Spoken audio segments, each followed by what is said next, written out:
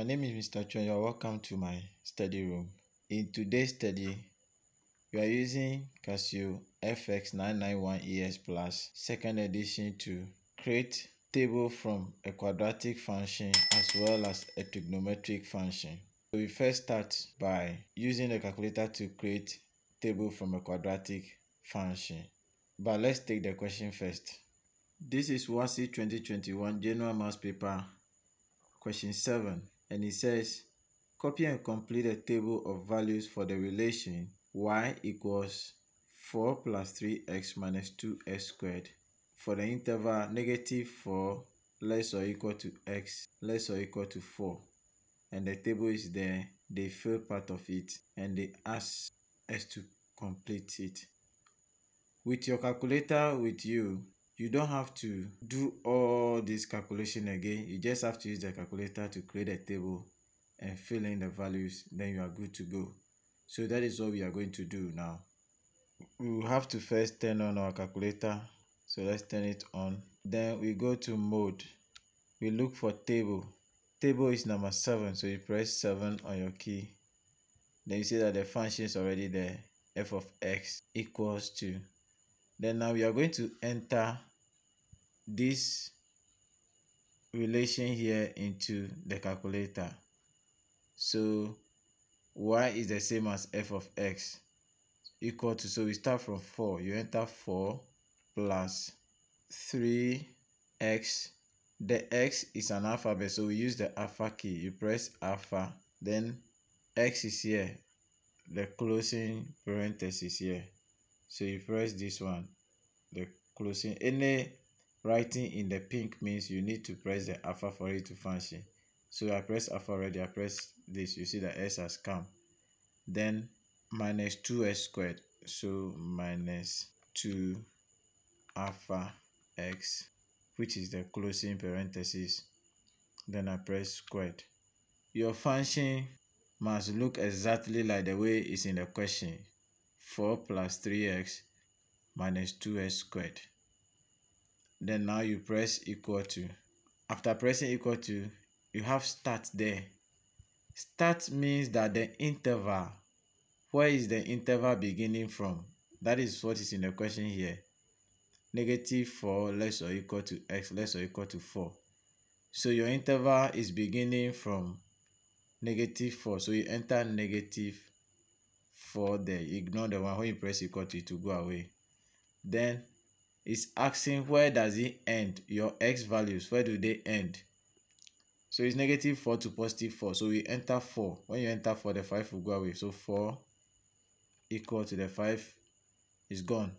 Now it's a step. Step simply means the intervals between your x values.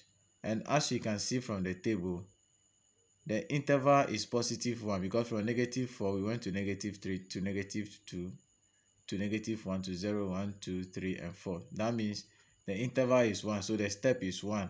Let's enter 1 and then equal to. So you can see our table has come with our answers already. For negative 4, our y value is negative 40, so you just write it under the negative 4. Negative 3, the corresponding y value is negative 23. Negative 2, the corresponding is negative 10, but it's already in the table we need to press the cursor down to move the our table up. So you see that negative 2 is negative 10 which is already there. Negative 1 is negative 1 0 is 4 which is already there. 1 is 5 2 is 2 which is already there. 3 is negative 5 and then 4 is negative 16 this is how we complete the table for a quadratic function or relation. Now let's quickly do that of a trigonometric function quickly and we take a question just like we did for the quadratic one. This is WASSCE 2020 General Maths paper question 6 and it says that copy and complete the table of values for the relation y equals 7 cos x minus 3 sine x. The interval is down here using a scale of 2 centimeters to 30 degrees on the x-axis and a scale of 2 centimeters to 2 units on the y-axis. Draw a graph of y equals 7 cos x minus 3 sine x for the interval 0 degrees less or equal to x less or equal to 150. But even if they didn't give this one, we'll still have seen it in the table. So let's see how we'll use our calculator to solve this question. Just for us to familiarize ourselves with the process, I'm going to start all over again. So I'll go to mode 1 for the calculator to be in a simple calculation mode. Then now we start the whole process again. So mode, we look for table which is number 7. Then our f of x has come. So that is the same as the y and now we are going to enter this relation into it y equals 7 cos x so uh, our y is the same as f of x? So you just enter 7 then you press cos. Then x so alpha x which is a close parenthesis. Then make sure you close the parenthesis. So 7 cos x minus 3 sine. Remember anytime you want to type x, you press alpha key, then x. Then you close the parenthesis now. So this is our relation 7 cos x minus 3 sine x. So you press equal to. It's asking where is it starting from. The interval is here. It's starting from 0 and ending at 150 but we can see from the table too so it's starting from 0 you press 0 equal to 150 equal to. Then the step is the interval. And from here we can see from the table that the interval is 30 because from 0 we went to 30 to 60 to 90 to 120 and to 150 so the interval is the step. So we enter 30 on the calculator. We press equal to. And here we have our table with the value. So looking from the table the question put our answers to one decimal place. So we'll try to run all our answers to to one decimal place.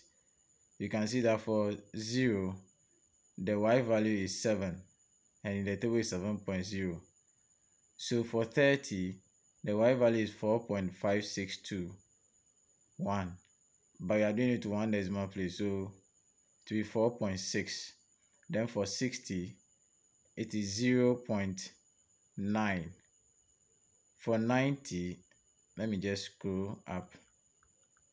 So for 90 is negative 3 that's why you have that one decimal place so negative 3.0 then 120 is negative 6.098 it will be negative 6.1 and then the last one 150 negative 7.6 so this is how we use the calculator Casio FX991ES Plus to create a table either for a quadratic function or trigonometric function.